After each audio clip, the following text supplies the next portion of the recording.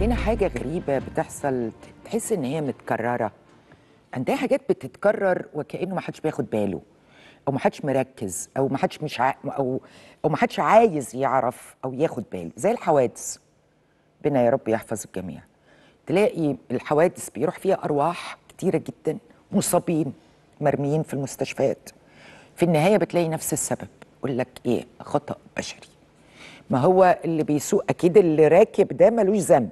يعني اللي قاعد في, الأتوبيس ده أو قاعد في العربية ده أكيد نسبة كبيرة هو ملوش ذنب. الفكرة في اللي قاعد على الدركسيون واللي سايق. ما هو يا إما هو مدي سرعة غير عادية متخيل نفسه إن هو ما حصلش في السواقة فبالتالي يحصل اللي يحصل. أو قاعد آه، بيشات على التليفون وهو سايق مش هن مش هنكذب. آه، بيتكلم ومندمج جدا. سرح يعني أقصد في النهاية بتتقال جملة خطأ بشري. ربنا يحفظكم ويحفظ الجميع يا رب. لكن انت بتتكلم في الحادثة بتاعت بورسعيد. 12 اتوفوا ربنا يا رب يرحمهم ويصبر أهاليهم ويربط على قلوبهم يا رب. وفي 20 ال 20 دول مصابين ربنا يا رب يشفيهم ويشفي كل مريض. إيه لفت نظري بقى في الموضوع ده إيه؟ لفت نظري إنه بورسعيد طلعت المحافظة وصلت لمرحلة إنها بتهيب. محافظة بتهيب. إيه إيه وبتتمنى وبترجو السادة إيه قائدي السيارات النقل تحديدا التقيل. الالتزام بالتعليمات وعدم السير على طريق بورسعيد المطرية طبقا للتحذيرات واللوحات الإرشادية الموجودة بالطرق وإنه اللي يخالف التعليمات دي هيتم آه، مساءلته قانونيا زي ما أنت تبقى مش مساعد دائري مثلا فجأة تلاقي توك توك جنبك وأنت سرعتك ما ينفعش التوك توك يبقى موجود. فجأة وأنت ماشي في أي طريق تلاقي واحد جاي بالعكس في وشك.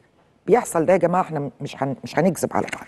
لكن هل العقوبة بتبقى واضحة بالنسبة للناس؟ خلينا نرحب بالأستاذ وسام إسماعيل المحامي بالنقد. أستاذ وسام مساء الخير فندم.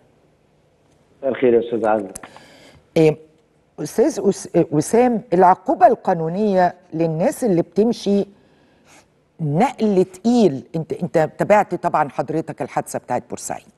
أيوه فندم. وأكيد حوادث كتيرة شفتها ونفس الخطأ البشري. العقوبة إيه فندم؟ آه والله اللي مش بيلتزم بالتعليمات. ال- العقوبات هنا قانون ال- العقوبات وقانون المرور آه وضع آه عقوبات ووضع آه محاذير آه للمخالفة. آه إن كانت في قانون المرور أخف شوية لأن قانون المرور قانون خاص. آه فبتميل أكثر إلى المخالفة إلا في بعض الحالات زي السير عكس الاتجاه اللي فيها حبس بيصل لمدة عام. آه.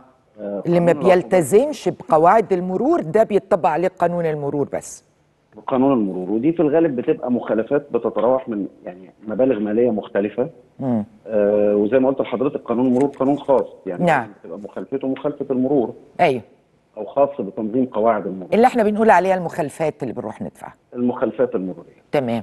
آه قانون العقوبات آه اختلف تماما مم. في آه وضع الضوابط والعقوبات المشددة والمشددة أيوة.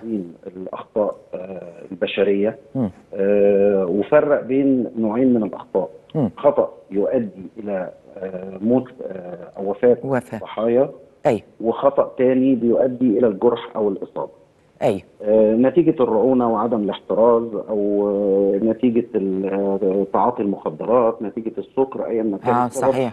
أيوه ووصل كمان قانون العقوبات آه، في هذه الحالات إلى وضع آه، عقوبات مشددة. مم. آه، تشديدها طبعا. مم. آه، بالنسبة للحالات الوفاة تصل العقوبة في حالة التشديد إلى 10 سنين.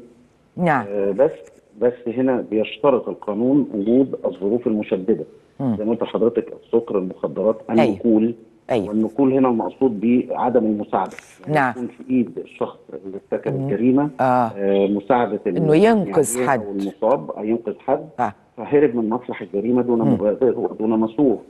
في الحالة دي آه، بيكون المردود هنا آه، العقوبة وتشديدها وتصل فيها إلى مدة 10 سنوات طيب. اما في حاله الإصابة مع أيوة. نفس الظروف المشددة أيوه اللي هي النقول أو أو المخدرات أو السكر أو ما شابه ذلك أيوه بتصل العقوبة فيهم إلى خمس سنوات. طيب. لكن الإصابة العادية أو الإصابة الجرح العادي أو الايذاء العادي آه، ده بيكون المدة فيه بتتراوح من سنة آه، وغرامة أو إحدى العقوبتين. طيب آه، إحنا بنتكلم في حوادث آه، آه، أستاذ وسام ال- نتيجه الحادثة كارثية.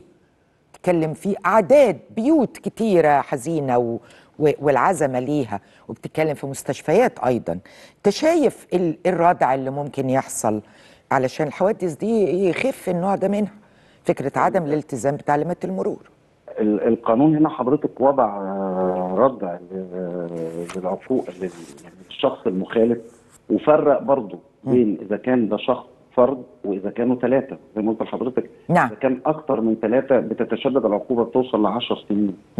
ف يعني ما أعتقدش ان في عقوبة أكتر من عقوبة سلب الحرية آه، يضعها قانون العقوبات. بس ديك شايف كمية الحوادث كتيرة إزاي؟ الخطأ أو الإصابة الخطا لأن برضو إحنا هنا سعادتك يعني لما بنذكر في القانون ده بنقول خطأ سواء قتل خطأ أو إصابة خطأ. مم.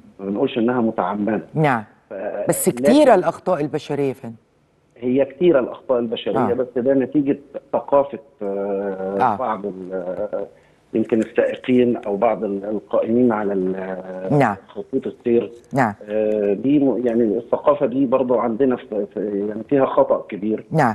ولكن لكن القانون في حاله تطبيقه في هذه الحالات آه، طبعا بيكون مشدد. وده بيجي بعد ما تتم بقى المعاينات اللي بتتم من من قبل مأمور الضبط القضائي اللي هم نعم. الداخلية ومن نعم. قبل المعاينات ال- آه، النيابة العامة وتحقيقات النيابة العامة تسفر عنه بقى تمام. التحقيقات يعني نتمنى الناس الخطأ بشكله القانوني آه تنتبه لهذا الكم الكبير لأن أرواح بتروح. بشكر حضرتك أستاذ وسام إسماعيل محامي بالنقد.